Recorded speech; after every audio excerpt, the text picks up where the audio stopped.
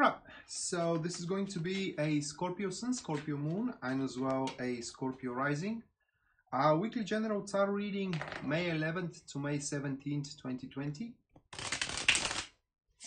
And uh, in case any of you guys is interested in a uh, private reading with me, uh, checking out the description checking out the description down below is going to give you a link to my website uh, from which you can purchase such. So without further ado, uh, let's move to the Scorpio reading here for the week. The first card, which marks the topic of our Scorpio week, that is to be the world. Followed by the next one, which stands as the uh, energies which is feeding and supporting the topic. That is going to be the hangman. Quite of a um, quite of an unusual thing here.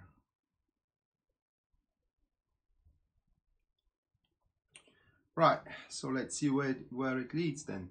Um, next one, which stands for uh, the challenges that we'll have to overcome. We do have the Queen of Cups, followed by the uh, fourth card, which represents the gifts and the blessings uh, that we get to enjoy. That will be the uh, Nine of Swords. Uh, then it is the impression that we are leaving into the people around. That is going to be the Tower it will be it will be quite of an un unusual one. Uh, I, I, mean week. And the last one, which stands for the guidance the tarot is offering, uh, that is to be the Page of Cups. So those six cards. Um, I, it will be quite of an unusual week, uh, to be honest. So um, With the first two, uh, we do have the energies of the hangman. And uh, hangman as an energy, it pretty much blocks everything of a happening. But because we do have the world as a situation, in this particular case, those energies are most likely gonna block a new opportunities to happen. Uh, for the reason being is that we do we are gonna need a time to finish and finalize things that are currently ongoing into our lives. And uh, for one or another reason, maybe the universe has its finger in it, uh, depriving us from a you know new enterprises and, and new stuff to deal with so you do so we do have the time to actually get the job done or get the things right around in terms of our career or in terms of our relationship but the hangman into um, in regards to energies it does have also an another trait and it pretty much points to diff to obtaining a different understanding especially uh, when it comes to the core of our problems and the core of our issues in a sense of that the lack of resolution up until now is because we did not understood the matter as the matter truly were and uh, this week that understanding or rather like that perception or perspective if you will is going to start residing deeper and deeper into our mind and therefore once we look at the situation we are, uh, that we are struggling with or that we want to develop at that particular case, uh, at that particular time, uh, we're going to see it in a very different light and it will be much more manageable than before. Which uh, leads us to the situation itself, and that is the situation of the world card. And um, as we do have the hangman, uh, the world card points the things are as they are. I mean, as we do have the hangman into a uh, energies, the world card points the things are as they are, and we get to do the the most or the best out of it rather than to try to change its course of narration. So what I mean here, and I have to explain it with examples, is that say that you have initiated a separation, uh, there is no going back from it. So you keep up going with the narration or for example a divorce has been initiated or example you have initiated a, um, a reconciliation. Or for example you have started working on a project. There is no going back until you finish it here. So uh, it's pretty much uh, with those two cards and especially with the world whatever has been initiated at the start of the week or very soon beforehand uh, it needs and, and will be completed to its full extent. At the end of the day. And only then after that thing is completed in this particular field uh, one one can hope for a um, say a uh, a new horizons to explore or new opportunities to conquer or new opportunities to kind of take on you know new challenges to conquer and uh, so on and so forth.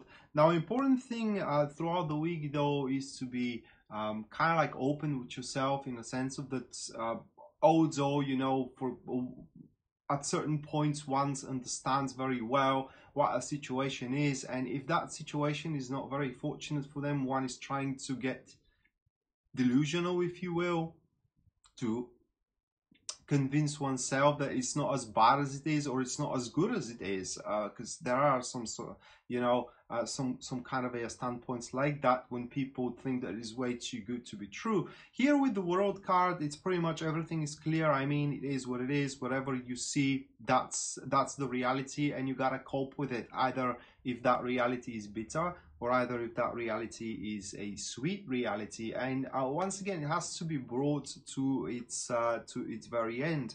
Uh, because whatever um, thing is um, forced throughout the week it's it kind of leads to a certain stage of completion of your behalf i mean.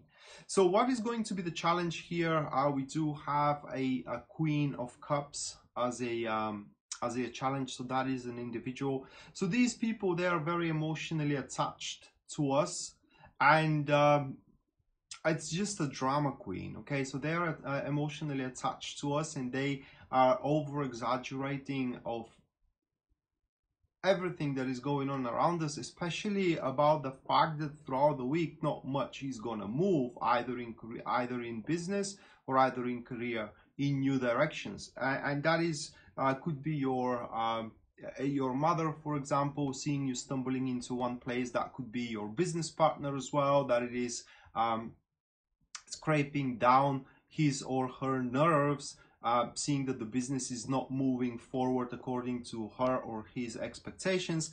But the thing with the uh, Queen of uh, with the Queen of Cups is that these people they are capable to provide a huge emotional support of ours, and that's why we have to be the challenge for us as a Scorpio is going to be a bit uh, uh, that that we have to address. You know the distortion of their behavior uh, with in a gentle fashion because they are very touchy and uh, we may inflict more emotional damage than actually we can convince them into uh, what needs to be done at that particular uh, at that particular point and that we have to focus on the matter rather than to make it um, rather than to make a drama out of it.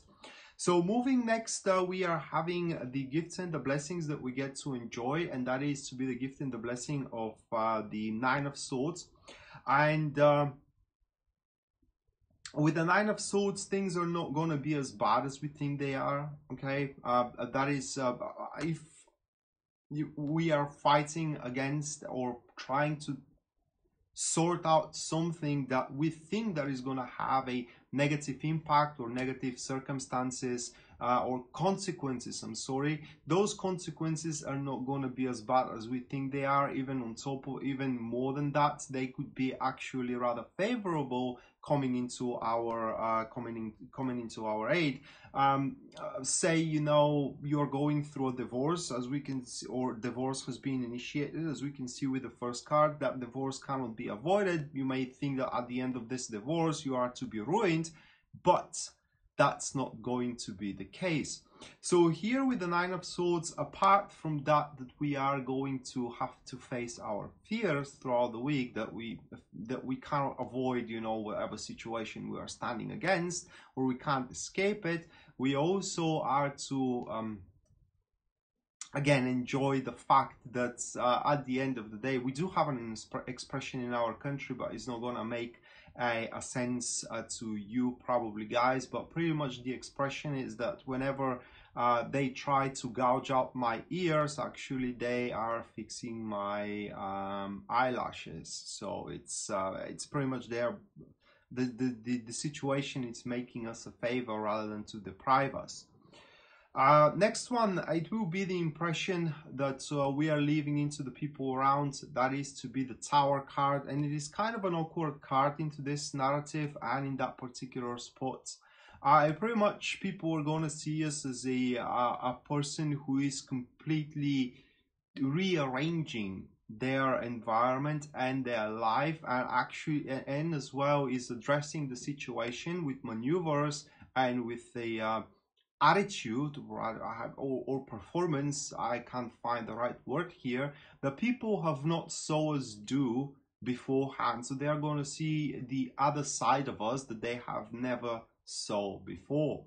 And uh, that will uh, pretty much shock them so people are going to see us shocking. And they ain't gonna believe what it is happening so if someone had a really bad um, impression of us that impression can change here throughout the week. Or if someone had a good impression that good impression can change throughout the week as well either into better or worse. But the impression of the people around those that matter i mean it's not going to be the same after they see you tackling with those really important stuff that are happening. Because with the um, hangman and the world there at the first positions. These things are definitely important and they need to be brought to bear.